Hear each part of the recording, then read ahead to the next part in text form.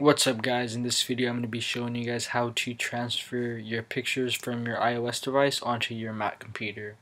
It's a really easy process and sh it shouldn't take more than just a couple of minutes to do.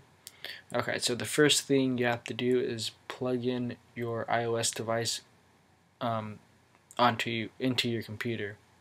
Once you have done that, all you have to do is um, get on preview which is this app right here. There are two there are a couple ways to do it. You could either go to spotlight if it's not already on the dock you can go to spotlight into preview or you can go to finder go to applications and just type in preview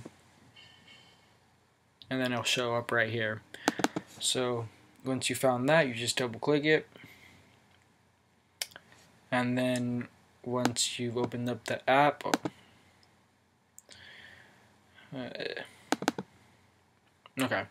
So now we're on preview. You go to file and then you go import whichever um, whichever device you want.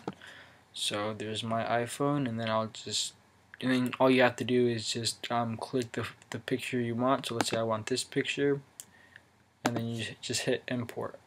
It will take a few seconds to do and then Okay, so yeah.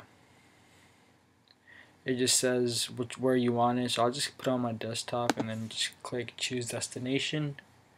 Once you're done with that, you're pretty much done and it just shows up right here. So as you guys can see, this is the picture I just transferred from my iPhone onto my Mac computer. So you can open it up like that and then there's your picture. Alright, so that's about it for this video. I'll see you guys in the next. Later.